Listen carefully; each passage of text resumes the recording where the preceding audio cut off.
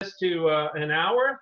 Um, you know, I know we're all busy people, so listen. This is today's. Um, I like to call it um, a live chat bankers forum rather than a, a webinar.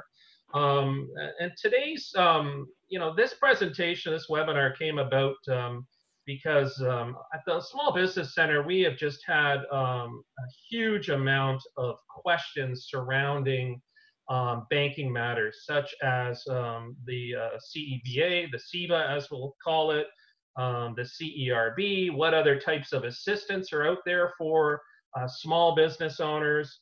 And, um, you know, we are business advisors at the Small Business Center, and I know talking to my colleague John Pollock at LEDC, who I'll introduce everyone in a minute, um, you know, a lot of those questions were coming to those organizations and many of the other organizations within our entrepreneurial support network in London. And we thought, you know, what better way than to bring in some of our our our, our volunteers, our colleagues, our, our, our, our friends and our bankers who are the ones who are the experts at this um, they are the ones who are managing these things and assisting our clients.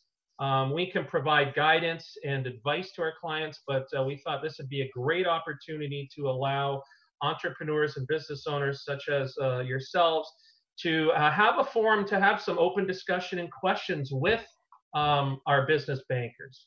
So, you know, we're really here for you. I've got a small little presentation and some stuff that I'm, you know, we're going to sort of navigate through, but questions uh, are certainly open. Um, if you want to throw some questions on the chat function um, at any time, throw them up there. Um, and one of my colleagues is sort of going to navigate that.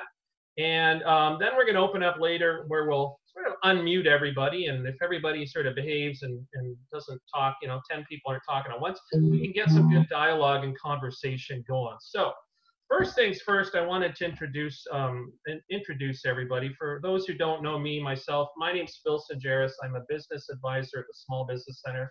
Um, been there for over six years. Love working with entrepreneurs, supporting small and medium-sized businesses in, you know startup stage to you know operational from you know one to five years and even beyond that. Um, you know, and you know these are are, are, are uh, trying times, very unsettling for business owners. I can't imagine being in the shoes that many of you are uh, with the uncertainty around us. And you know, the message I always say to, to clients when I meet with them is, we're here to help. You know, I hope you get some assistance and guidance from us today, but it doesn't end just at 11 o'clock. We're here beyond that, and all of the people that um, are facilitating and have volunteered their time are here to help too. So let me introduce some of them. Um, first off, I want to introduce John Pollock from the uh, LEDC, London Economic Development Corp. Um, you know, he's got a, a strong background in small in business and business and business supports and those kind of things. And this um, webinar live chat is, is a joint initiative of both the Small Business Center and uh, the London Economic Development Corp. John, did you want to say a couple things? Um, no, well, I'll, I'll, keep it very brief. I think the, the only point I want to emphasize as we go into this is that um, um, everybody that I know uh, has been affected by uh, this, this disruption that we're going through right now. There's been an enormous demand shock, supply shock. There's going to be financial shocks rippling through the system. I think more than anything else, the purpose today is to feel like, uh, you know, what happens on Zoom stays on Zoom. This is your opportunity to ask questions of people in the banking industry that you might be a little reluctant to bring up with your own banker initially, but you know, here's a chance to kind of feel out, um, you know, what happens if, um, you know, should I do this, and just get some feedback from people who um, are in the in the space. Um, I would say more than anything else, it's incumbent on everyone to, you know, digest what you hear today and talk to your banker. Uh, be as proactive as you can, and hopefully you'll go in after today armed with some knowledge and some ammunition to have a productive conversation about how you're going to navigate the, the weeks, weeks ahead. Okay, thank you, John. Um, I'd also like to acknowledge my two colleagues from Small Business Center, Vicky Heredia and John Anagnostou are here who are helping and, and, you know, we're here to help at any time. And they're uh, my background administrators, admitting people on waiting rooms and, and just helping out here. It's a, it's a whole team uh, initiative. And also, I, I, see a number of other people from um, LEDC that are, are joined uh, as well, and I'd like to welcome them as well um, to the call. And and lastly, not lastly, but also to the BIAs. I mean, we've seen a lot of support and a lot of clients from all the different uh, business improvement areas across London who are looking for assistance. Um, you know, thank you for the support. Again, we're in this together. We're a community and, and we're here to help. Um, I'd now like to introduce my four banking uh, experts and representatives. Um, the first one is in, in, in no uh, particular order. You're not number one, Mike, but I'm going to start with you. You're number one in my heart. But uh, Mike McIntyre from uh, Libro Credit Union is a representative um, that's joined us today. Uh, Lisa Kraft from Scotiabank um, is a business uh, advisor here to uh, help us uh, through and navigate some of the discussion. Uh, Richard McKenzie from uh, BMO is a uh, business development manager with BMO and, and has a um, strong history and background in business and business banking. And Anthony Aguchi from TD, uh, TD Bank, uh, small business, small business account manager. So, you know, these, these are the ones in the trenches that have been helping out a lot of business owners and those kind of things. So um, that being said, uh, John, can you pull up the presentation uh, for a minute? We'll, we'll go through that and uh, we'll, we'll share the screen. Sure. Bear with me. Okay.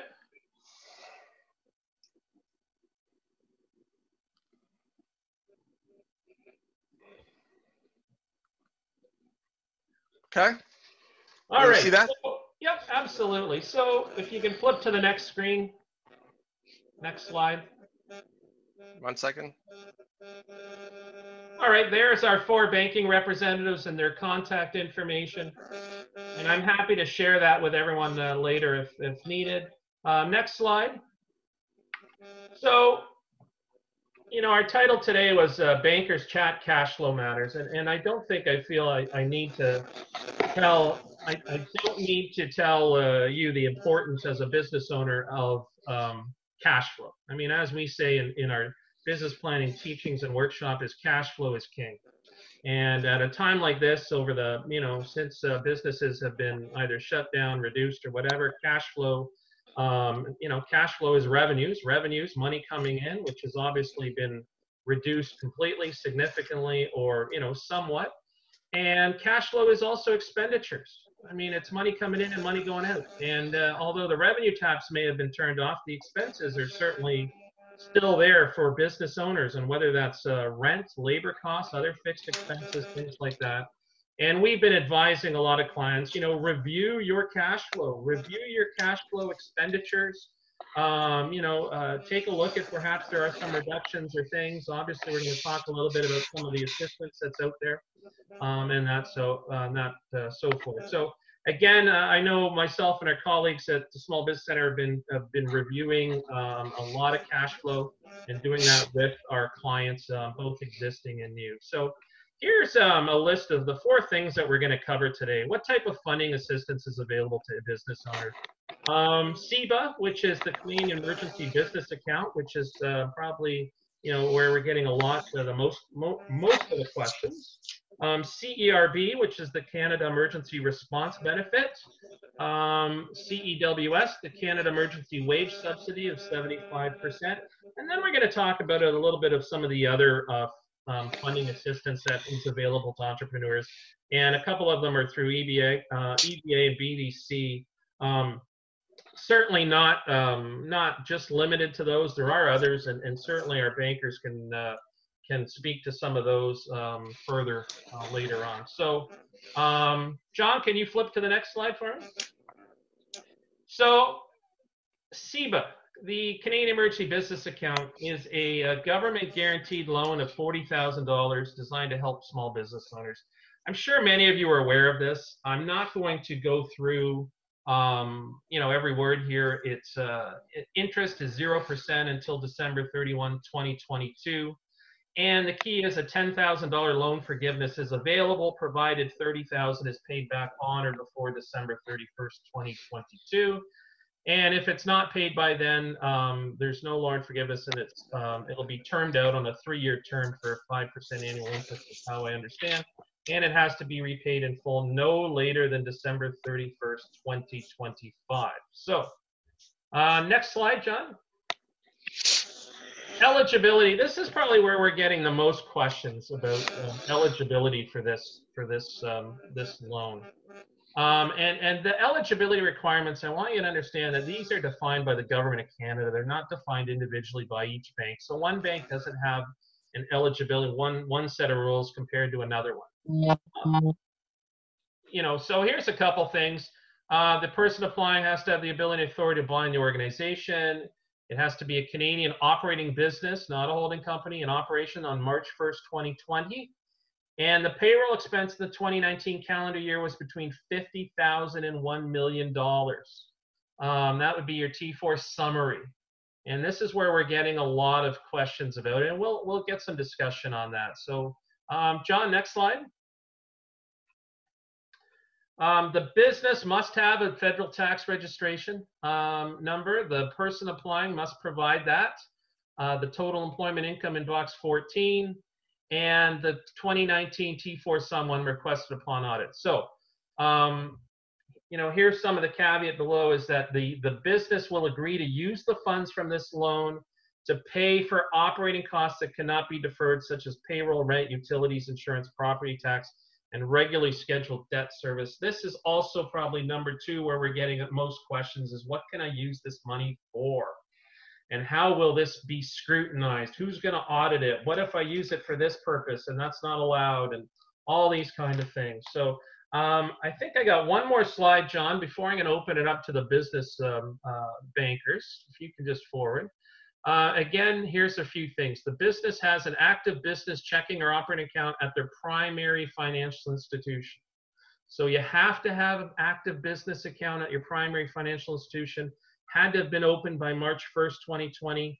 Uh, no arrears more than 90 days as of March 1st. Um, you can't apply at any other um, financial institution. You can only apply in one place. Um, post-funding surveys, yes. And you intend to operate your business and resume operations. You're not just going to take this money and shut down in, you know, 30 days.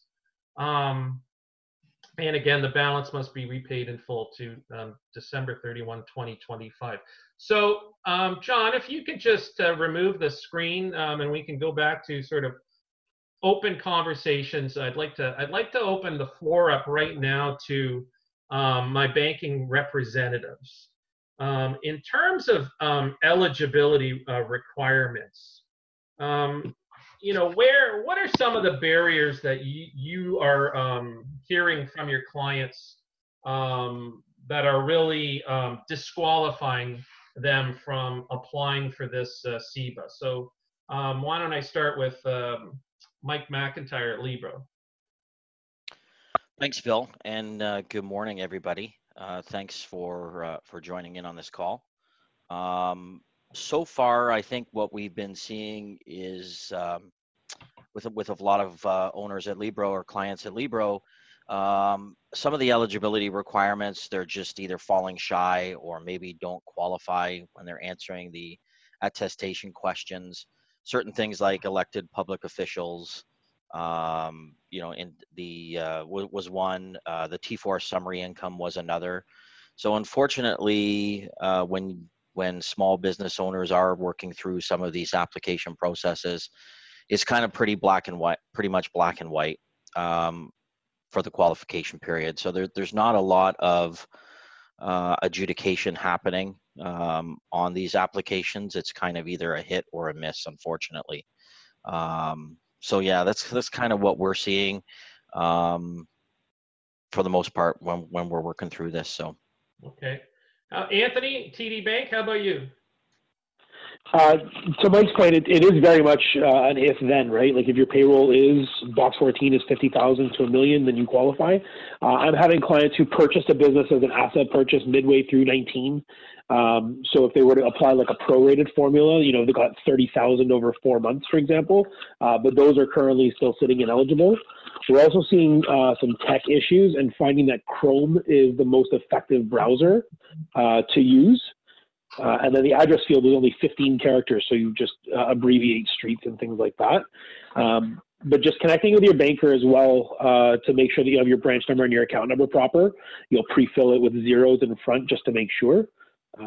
Because it's rejecting it and you don't know what it is. It says uh, your application has been rejected and here are some possible reasons. And I found most often when I'm getting those notices from my clients is, hey, did you confirm that the branch number is actually you know 0240 as opposed to 2402 something something as simple as that will will trigger a reject as well okay um, let's go to lisa kraft scotiabank in in terms of eligibility um, requirements. So you know what i'm hearing from a number of my clients are they're not quite at that 50000 payroll. Um, some of them are hey i did 35000 in payroll and i took 25 in dividend income. Does that qualify me? Yeah, unfortunately, dividend income isn't, and we're finding a lot of people have been doing that because they're paying themselves through dividends, but they pay their employees hourly. And at this time, there is nothing um, to that has come through as changes. I know we're waiting for stuff, so they're not qualifying. We do have some people that haven't finished um, their income right now and their accountants I know are switching them over to payroll for their staff. So you maybe talk to your accountant and see if that is something you can do instead of taking your income for last year out as a dividend. I've had a couple customers tell me they're doing it that way. Um, but yeah, if it's dividend income, unfortunately, you're not qualifying for anything right now at this time. Okay. All right. Um, Richard Richard McKenzie from uh, BMO. Tell me a little bit about okay. some of the um, the eligibility requirements um, that that you're experiencing with your clients, or I guess the lack of eligibility or the barriers they're they're running into. Uh, sure. First of all, everyone can hear me. I just want to make sure of that. Yeah, we're good. Okay, excellent, excellent. Thanks again, Phil and uh, John and, and everyone on the line. Um, uh, I second what everyone said. Yeah, you know, we're all in it together. It's a tough time, but we're all in it together. And especially as your bankers, this is that one time when, you know, you can catch us at home and you probably can have more fruitful conversations if you give someone a call because it's we're available. Um, you know, we're, we're all we're all working in from home like you guys are where you have to. So please reach out to your bankers. One thing I'd like to to to uh, address um, before I talk about some eligibility stuff, um, Phil is earlier on, um, just to clarify, my understanding of the, the CEBA facility is it's it will be termed out after December 31st, 2020, is what I've uh, confirmed in my internal documentation I've reviewed. I think at the outset of the call, um, we were kind of, everyone's learning on the fly. We knew that at December 31st, 2022, if the balance remaining was uh, of the 40,000, if you were advanced 40,000 was 10,000, that 25% remaining balance is eligible for forgiveness. Um, so that that is one thing I've kind of learned internally in my research because we're all learning on the fly. But what I've also uh, understood is that it'll act as a revolving line of credit up until December 31st, uh, 2020. So I think most banks are advancing the full 40,000 into people's accounts. It makes sense in a way because it's zero percent interest. But at the same time, if you don't want that money just floating in the account, you can put it back on the line of credit um, knowing that you can redraw on it up to December 31st, 20, and then after that, the balance is turned out. That's my understanding. So I want to make sure everybody knows how the process and the procedure works because you don't want to get caught in a situation where you need the cash, you haven't advanced the cash off your line of credit, and then it's no longer no longer readvanceable after December 31st, 20. Okay. Um, on the eligibility side, um, few things. Number one, all the banks worked with the uh, with the government to build this application kind of uniformed across all banks. So it's a it's definitely a bank application, online application that all all the IT departments of all the banks had to work with to kind of build to make it work succinct across all banks. Some of the things we're seeing because of that is a lot of times I, what everyone has said so far is correct. Um, the eligibility, you know, that uh, that my colleagues at the other banks spoke of, uh, we're experiencing as well. Some other things too that are causing ineligible stuff is some technical matching. Uh, bottom line is there could be an instance where you're classified as ineligible, but you meet all the criteria, but the bank systems um, are used to edit some of the fields and some of the, the information. And it may be that the bank systems aren't um, updated to what you're entering. So that could be an issue. It could just be a validation issue. Otherwise, from an eligibility standpoint, yeah, the, the T4 50 to 50,000 to 1 million, Um, the latest is as of Tuesday this week, I read that uh, the government's well aware that you know several small businesses don't pay their their staff that way or their their leadership that way, um, their management. So they're looking at the including the um, the dividend structure and so forth. But at this time, we have to go by the, the edits as they've been delivered. So that's that's the major thing. You know, there's other things that could come into play, like if an account is dormant, um, or you know, there are there is a statement that if the account is delinquent, uh, you, you have any kind of delinquencies, that could cause an ineligible um, uh, response, and then you'd have to get in touch with your bank. So I'll kind of leave it there because I think my colleagues kind of covered off the other stuff. So I'm going to just pass it on to Anthony from TD because I know what you said about 2020, December 31st, and what I've sort of heard, that's a little bit different. And I don't know, Anthony, what are you, and perhaps some of the other bankers can jump in on that. Anthony? So the the program was, was basically forty thousand and zero percent, and then it was left up to the banks as to how they'd like to actually administer the distribution of funds. Uh, TD has elected actually a single advance loan with a term reducing facility at the end. So if you were to lump sum back onto that loan, you would not be eligible for readvance. Um, on TD side. So I would encourage all the business owners applying for CEBA, check with their individual banker and say, confirm with certainty, hey, are these funds readvanceable or are they not? I can confirm that they would not be readvanceable because it's treated as a term loan facility on the credit profile for the business. So if you're concerned about cash flow or overspending that money, uh, best thing that I can recommend is open a no-fee business savings account, squirrel the funds in there until you actually need to draw it down, and effectively create your own kind of line of credit. But I would not uh, encourage re-advancing or lump sum paying uh, unneeded funds right out the gate without confirming with your individual bank whether or not you're going to be able to access them back. Um, I would hate to see somebody take 40, think, hey, maybe I only need 25, advance 15,000 back and then fall short um, because you're not going to be eligible to reapply later. Um, so if you're worried about overspending in your checking account, um, a business savings account would have a no fee and you can literally just squirrel the funds over there and kind of lock it up separately. Yeah, um, but please check with your individual institution.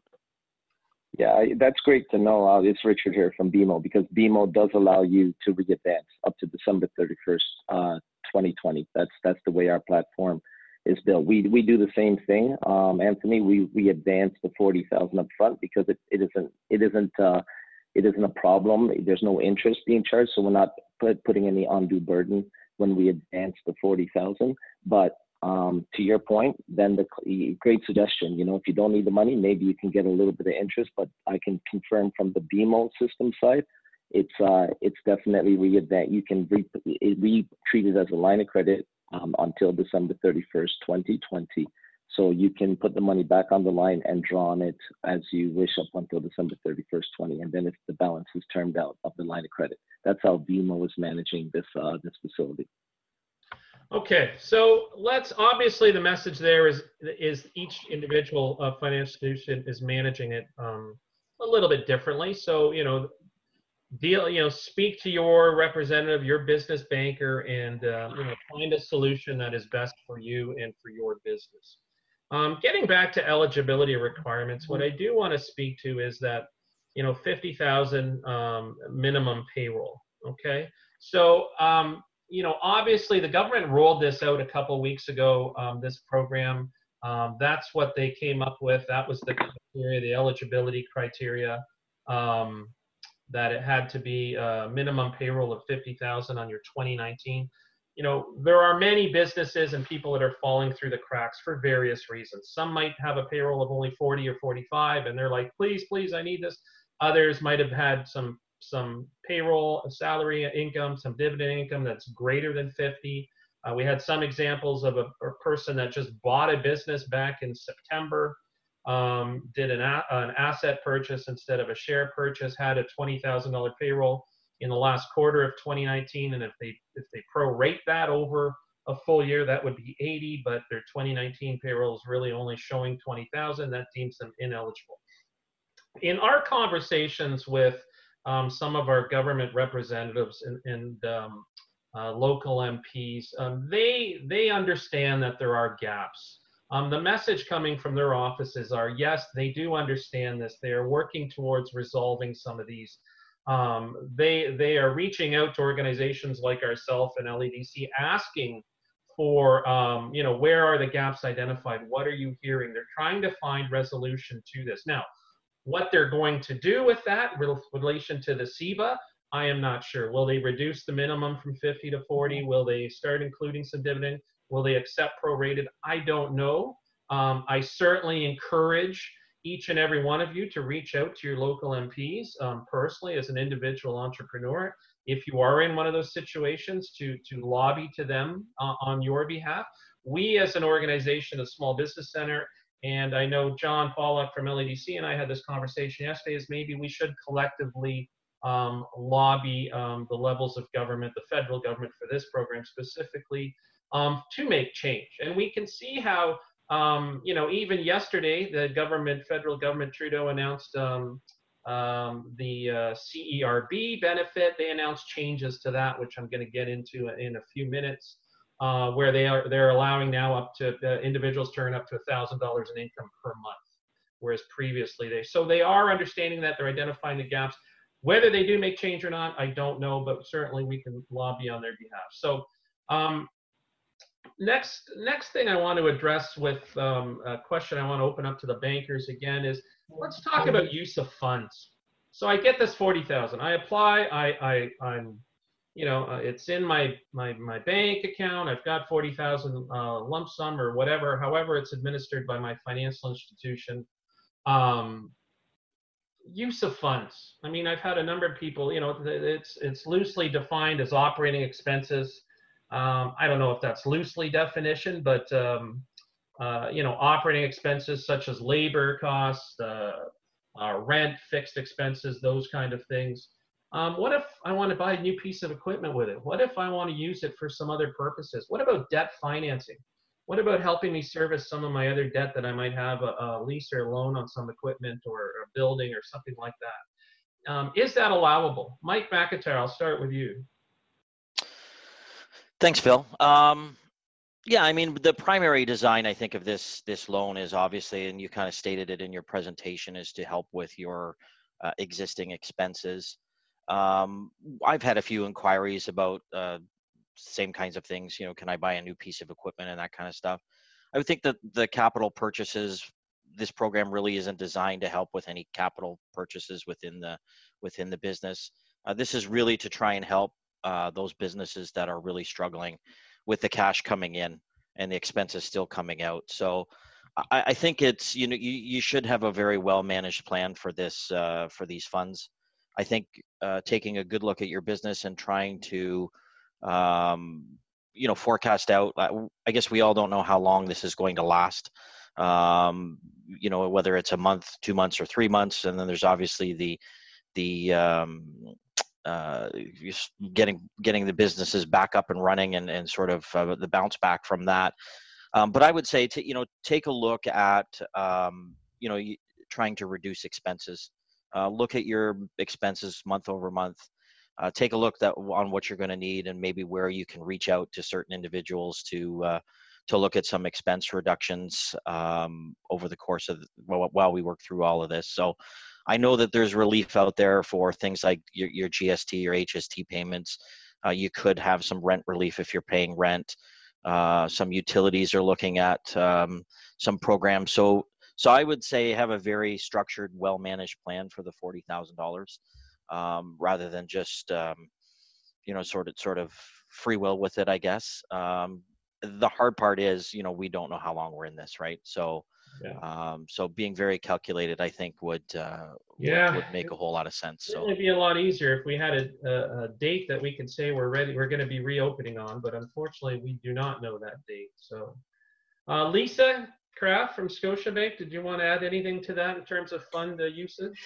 They can use like um, the funds also to make regular loan payments, mortgage payments, and that type. I think you were talking about lowering their debt costs and stuff like that. Yeah. My understanding, we're um, issuing it as a lump sum, but it is a line of credit, so ours uh, will fluctuate if needed.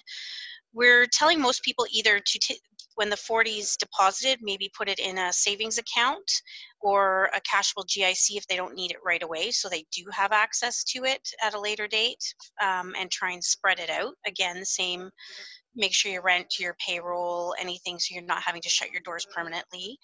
Um, and we're also offering, uh, we're trying, we're keeping track on our system who's applying because we're also offering on their mortgages um, and loans relief for three months where it's they just pay the interest only we'll waive all the principals um, we're also looking at Visa cards. Anybody should be calling in on their Visa cards directly, not into the branches, but um, I know with us, you call Visa directly, and they're also doing some uh, relief with the minimum payments and things like that monthly to get it down. And they're also lowering the rate. They'll tell you the stipulations on that um, on the lowering part. So there is other options. Everybody should, whether you need it or not, you might want to do it now because it's, you don't want to get behind the eight ball because then it's harder to get approved for a lot of these things. Um, do it up front and take the three months if you want now. Don't wait until you're behind because once you're behind with it makes it our job a little harder to get these approved for you. So if you think you're going to have some problems, call your banker and uh, let's get it all in place right now while they're willing to get it all ready for you. And it's pretty simple. Three questions we ask, and we can probably get a lot of your payments moved around. Right. Okay. Um, I just want to I want to jump over to some of the questions and, and, and chat uh, stuff going on, and maybe we can address some of those. First one I noticed um, was uh, someone who said they went to TD Bank and asked about a $40,000 loan, told they had to go to the government site, and the government site says go to your bank. Um, Anthony, TD Bank, is it through your online banking? Do the government site just, uh, how, how do you respond to that? Uh, so it's actually through td.com slash business relief. It used to be the COVID 19, and then they just switched it over to business relief. Anyone that has an email address on the TD system would have been sent out the link on to actually how to apply. So it might be the case where it was an external site, but the actual like um, CEBA application is entirely external, uh, and it's not done through through us at all.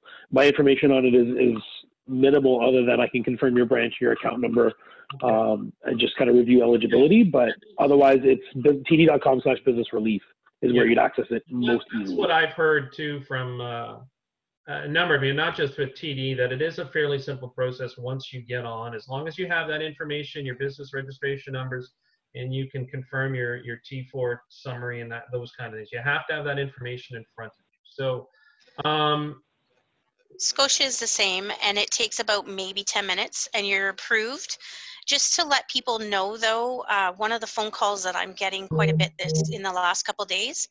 Once you get it done and it tells you you're approved, everybody thinks they have to come into the branch to sign documents. You don't need to do that. They actually send you the document with your e-signature on it. So there's nothing left to do, and it takes five days to advance the funds. So it's not in your account immediately because they're going to do some audit in those five days to make sure everything's okay. But you'll get your approval usually in 10 minutes.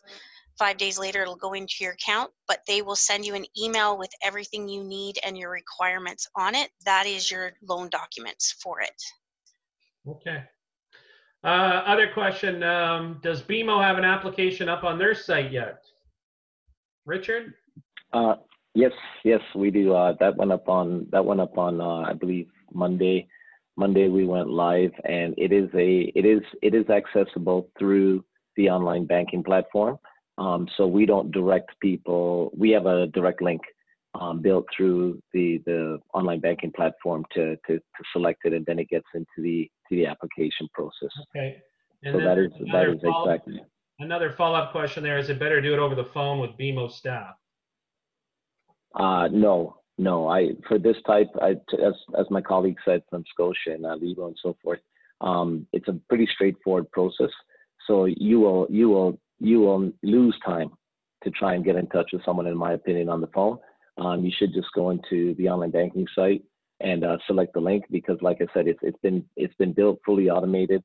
Um, the the metrics we had as of Monday morning when we went live uh, end of last week was uh, 80% um, success rate, um, and 20% that had ineligible feedback um, were being addressed, and some of them were uh, some of them were actually ineligible for a reason when investigated they found out, uh, and or um, something to do with we had to do uh, some kind of tweaking in our internal system maybe to address uh, an edit on a field or, or the client had uh, in, in, invalid information entered. So it, it's definitely online is the best place to start. If you if, some, if there's an issue, call call the contact. But online is your quick and fast way to get it done, for sure. Okay, next Yeah, question. and if I, Next Yeah, go ahead. question in the chat was um, getting questions from new businesses operating less than one year who don't meet the payroll threshold. Will this be prorated for them? I, I addressed this a little bit earlier, and uh, at the present time, as it is my understanding, no, it's not being prorated, but it is certainly something that is under consideration in, in, in our conversations with uh, with uh, MPs and, and government representatives. So I think that one. And one of the last ones, somebody spoke, mentioned a rent relief. Um, um, I think Mike McIntyre, you might have mentioned something about rent relief. In, is, there a specific rent relief program that anyone is aware of? Um, I, I'm not aware of any other than, you know, negotiating with your current, um, you know, landlord. Um, I, I don't believe there's anything. Any, uh, any of the bankers want to speak to that or John, uh, LEDC, anyone heard of any other specific rent relief programs? Lisa from Scotia, we haven't heard anything. We just have the, if they own the property, we can waive their payments, but I haven't heard anything. Most people are contacting their landlords right now. Yeah. I know there's, yeah, a- I'll, I'll add to that. It's uh, it's it's Richard. So I'll add to that, and keep in mind that um, your landlords um, are eligible in most most cases nowadays. We're all in it together again for some kind of mortgage relief, as Lisa pointed out. So it's worth a call to your landlord um, because the depending on what kind of relief they get, you know, most are willing. I, I'm finding that everyone's kind of being good to each other, and uh, you you really should get in touch with your landlord. And even addition to that, don't underestimate things like your insurance. Um, if you call, I've had a lot of people call their insurance brokers or their insurance reps, and and even insurance companies are are are working to either extend you a couple months next year uh, if you have to maintain payments and or willing to kind of reduce some of the payments depending on the insurance structure. So to everyone's comment, stress your cash cash flow and look for opportunities of the expenses you have going out and make those phone calls. It's really important. yeah, and I you may will. miss out on something. I will speak to an organization out there called Save Our Business, and I know downtown London has been sending out um, um, uh, petitions and surveys that there is a strong um, lobbying of all levels of government to provide uh, rent relief and rent abatement to landlords, to in turn pass it on to their tenants. Um, you know, this is a uh, um, uh, certainly something that is is uh, should be strongly considered. I know at this point, I don't even know if it's gotten to committee stage yet at uh, at uh, the government level, but certainly um, there is a there's a strong push for that. I've read through it. I've signed the petition personally. I'm I'm in full support of it. Um, I think a lot of the business owners uh, we're at the mercy of our landlords, and as Richard said, you know most landlords, I would say the majority of them are being um, uh, compassionate and empathetic to the position business owners are in but there are a few dogs out there that are not and uh, i spoke to somebody yesterday and it's uh, it is scary and it's uh, it's uh, you know it raises the anxiety so um, okay a couple other questions Phil, just a quick question, uh, answer that I found out through um, another colleague. If you have your insurance on your business, you should give your broker a call because I guess there is insurance they might not know they have, but for this situation that pays out some of the policies that they have. So they should check on their policies to see if there's anything built in um, for this type of thing because of uh, it's not their own. It because it's a pandemic. So there are policies. So depending on their policy, they should call and check with the broker to see if there is anything that will help them also. Luna, or Millie, Millie. um, I've, I, we've been recommending that to all our uh, clients as well um, i have not heard of any clients that have been successful in acquiring any um, any assistance from their insurance financial um, payouts or anything like that but uh, The other thing, too- explore it Yeah, the other thing too, just so everybody knows too, you should, if you're not running your vehicles and that for your business and stuff, call your insurance broker. You have to call them, but they are giving rebates. I've had quite a few people getting rebates because they're not they're not running their equipment and things like that. So um, they're getting. Uh, I've had a couple people get retroactive back to March um, discounts on their insurance because they're uh, not as liable. Because say you have vans and things like that out, you're not using them see if you can get some money refunded back. I've had a couple of people tell me they've got it back. Good point. Good point. Okay. Um, listen, at this point, I see a couple more questions on chat room. Um, you know, I know CEBA is um, the the business account is probably the hottest topic of, of most recent. What I'd like to do is open it up. If anyone is anybody out there, would they like to speak specifically to it and ask a question live rather than putting on chat? If anyone is, maybe you can raise your hand or uh, um, let me know. We can unmute you or uh, that kind of stuff. I'm not sure. I see Annie. Annie, I'm. Go ahead. Can you? Uh, yeah, yeah. I just uh, uh, sent a question. You might have seen that. Uh, you know, of course, I am not eligible to get that forty thousand dollars uh, because I I didn't complete my. I don't have you know fifty thousand payrolls. Uh, you know, so uh, this is what uh, I was looking over the um, uh, over over the website. So there is some other thing I saw that BDC, BDC co-lending program. So I don't know whether all of us can apply and what are the eligibility for that. I don't. I have no. If anybody can uh, let me know about that, that would be wonderful. Okay, great question. I know that's something we were going to cover. Richard, do you want to speak to uh, that a little bit about BDC lending and what might be available for businesses such as Annie?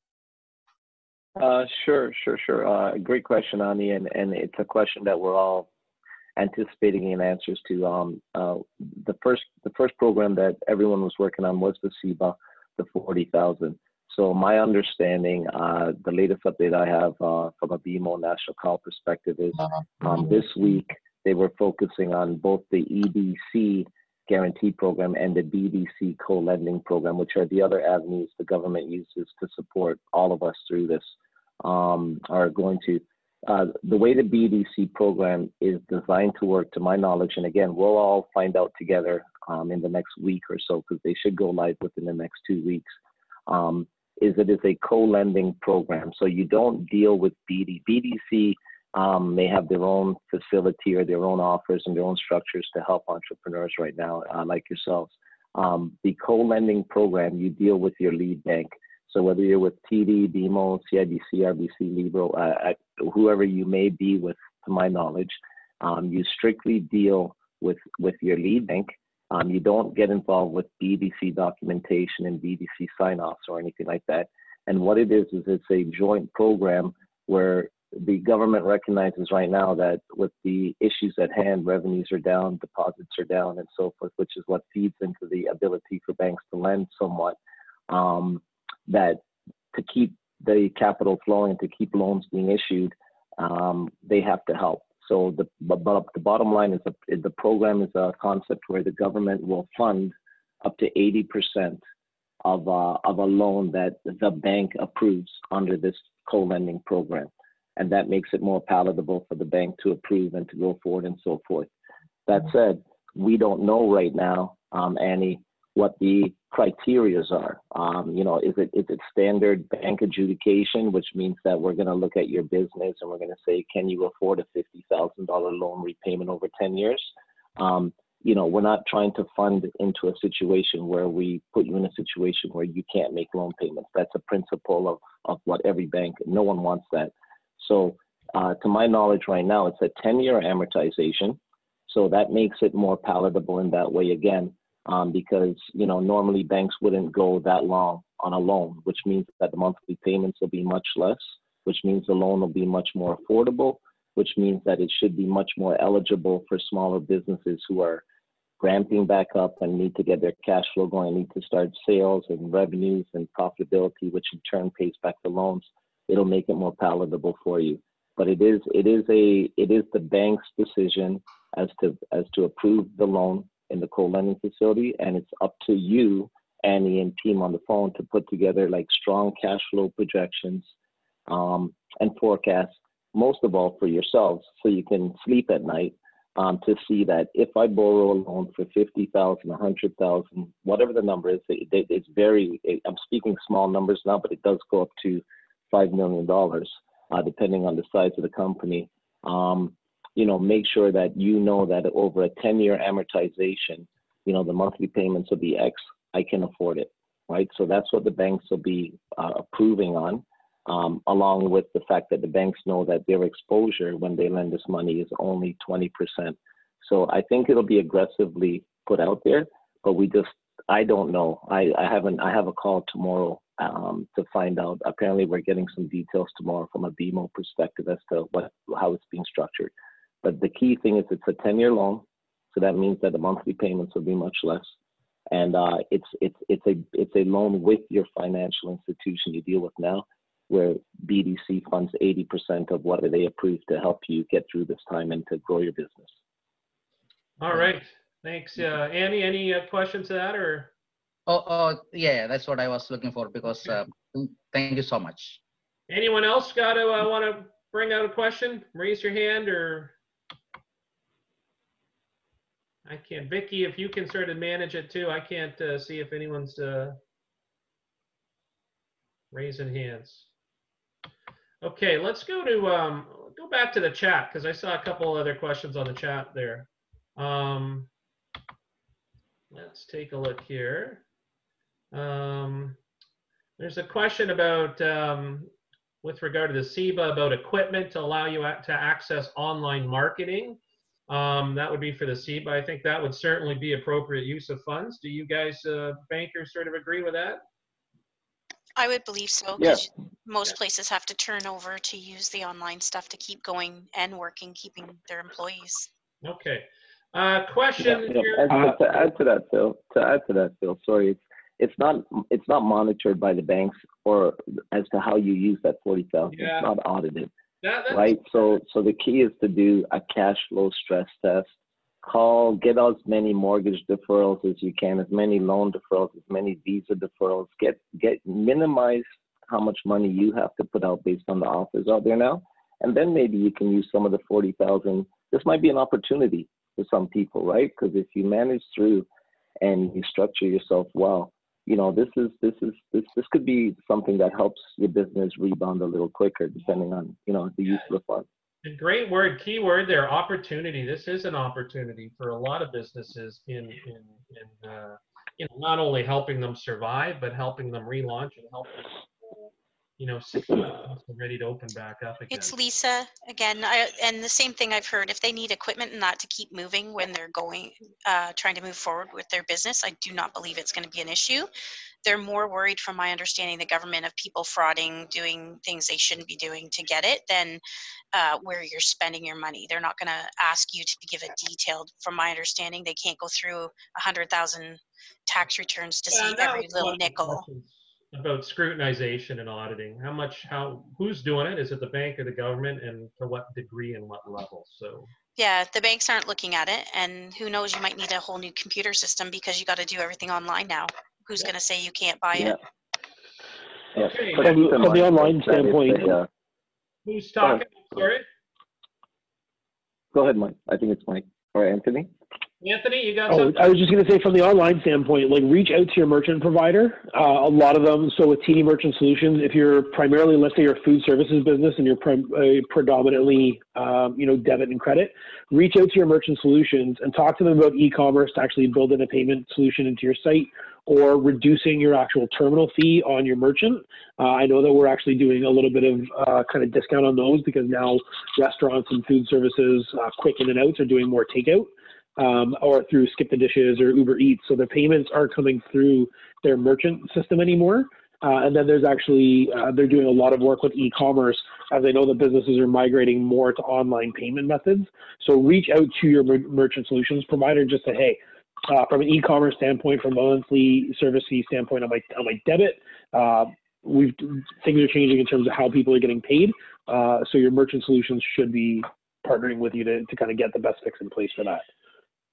Okay. Um, next question. Yeah. Thanks, Anthony.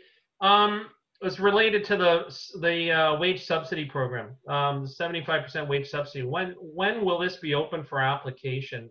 Um, I don't have the answer to that. Do any of the bankers or is anyone else on the call? Have, have they got any idea of where that when that will be uh, opening up? We haven't received anything at Scotia, but I know they're having a meeting, I think today or tomorrow about it. Okay. Um, Yeah, the same again, keep- keep an eye out for that information. Certainly, our organization And um, LEDCs, there's lots of COVID support information out there.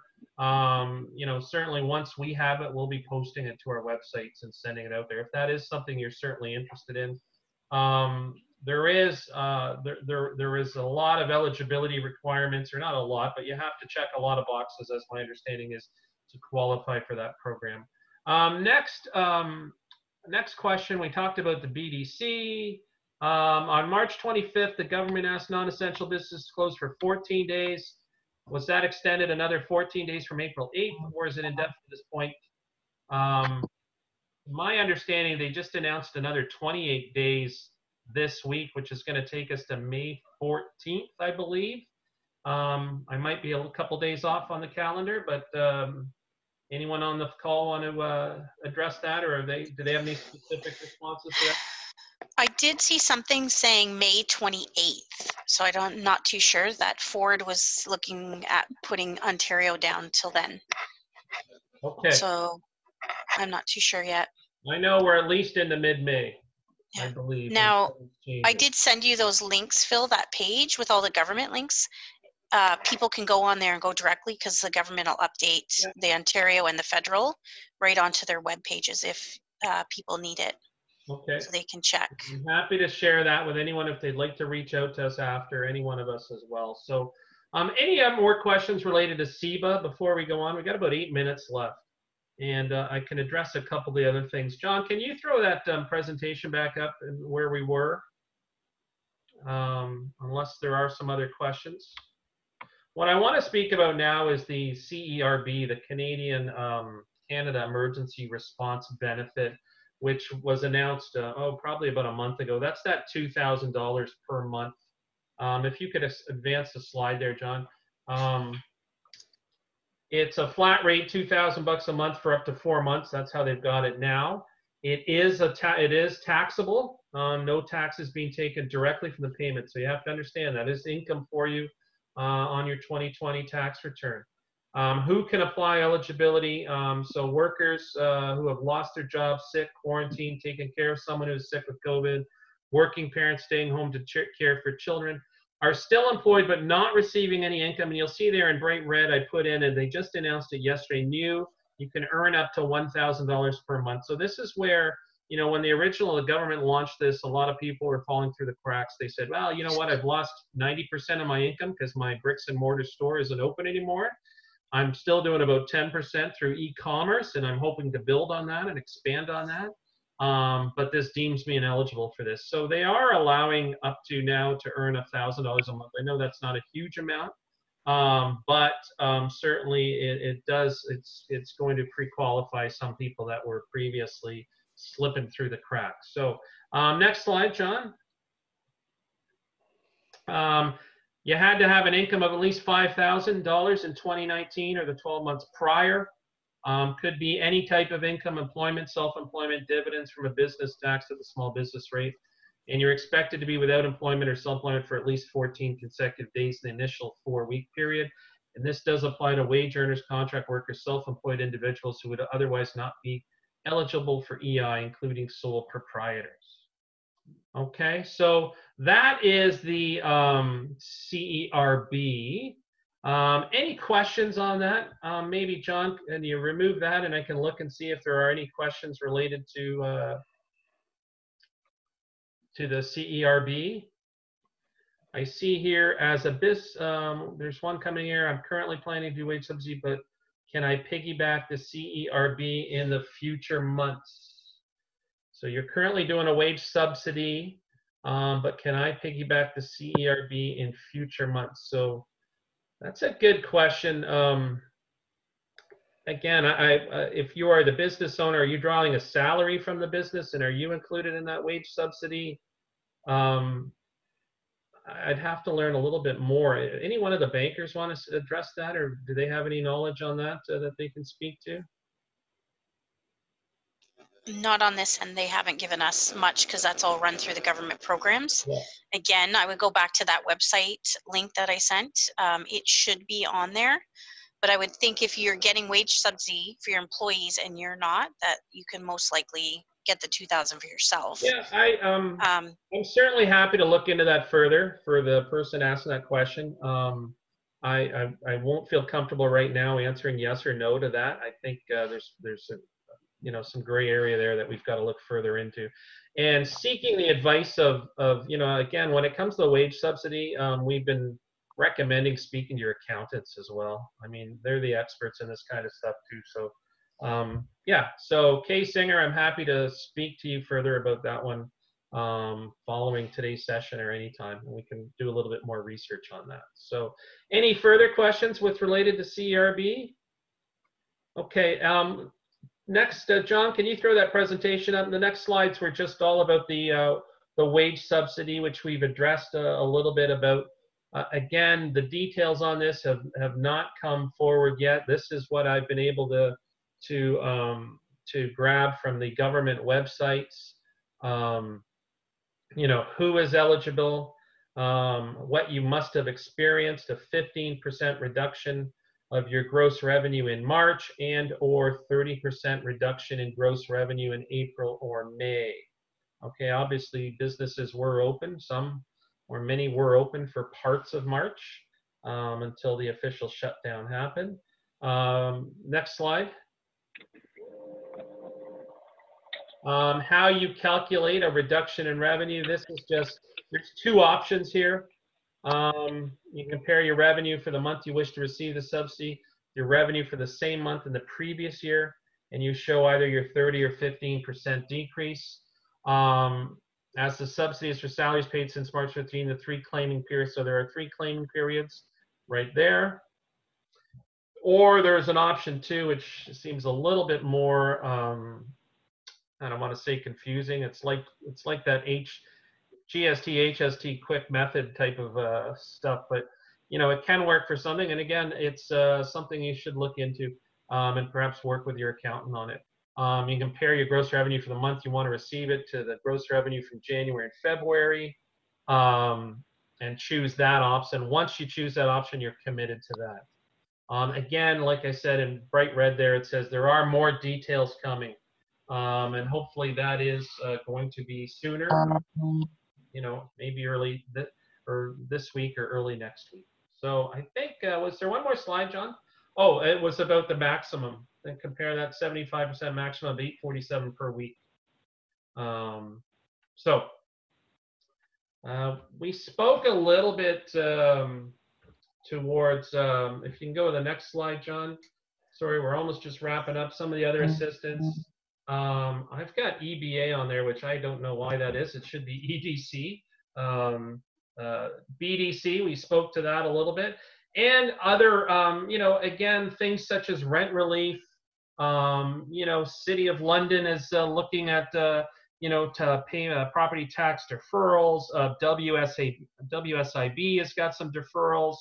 Um, utility, uh, London Hydro, and some things are looking at some uh, deferrals, rent or utility relief, things like that. A lot of details are still not released, but you know, certainly, you know, this is your livelihood, this is your scope of business, this is something you got to keep your pulse on. And as I said earlier, we um, as an organization, both SBC and LEDC, will be on top of this kind of stuff, and uh, this is what um, this is what uh, you know we're how we're helping our clients. So. Uh, one last question. Would I provide an uh, email the slides today? Happy to do so. Um, I will do that uh, sometime later this afternoon. Um, okay, John, if you want to remove the uh, slides there. Phil, um, what I know in our area, um, some people should be contacting to their Chamber of Commerce. Um, I know in the Oxford County area, they uh, through I think it's called Ventures Capital or something. They're offering thirty thousand dollar loans. Even if you're not a chamber member, they're offering uh, other loans for businesses right now, small businesses in their community. So I'm sure there's one for Middlesex County and all Elgin County and things like that. So you might want to check the chamber, your London yeah. Chamber of Commerce website. Point. And I know there are um, you know, uh, there's there's lots of discussion going on about supporting Main Street businesses, bricks and once things, you know, food service, restaurants uh, being decimated. Um, restaurants Canada, there's a lot of talk and and and there's a lot of mobilization at those organizations on how um, how they can help, how we can help them, how government can help them, how all levels of government, how customers and and clients can help them. So you know, there's a lot of stuff out there. There's a, again, like uh, you know, I think we mentioned this at the beginning. John Pollock uh, mentioned it. Is you know, this is community. We're here as a community of, of business owners and, and entrepreneurs and we're here to support it. You're not alone. You're not doing this uh, uh, on an island by yourself. Um, and um, certainly, we're here to provide some assistance and guidance. So, um, yeah, that being said, I see 1101 on my clock. I'd like to thank everybody, uh, my, my, our expert panelists, the bankers, for giving us an hour of their time.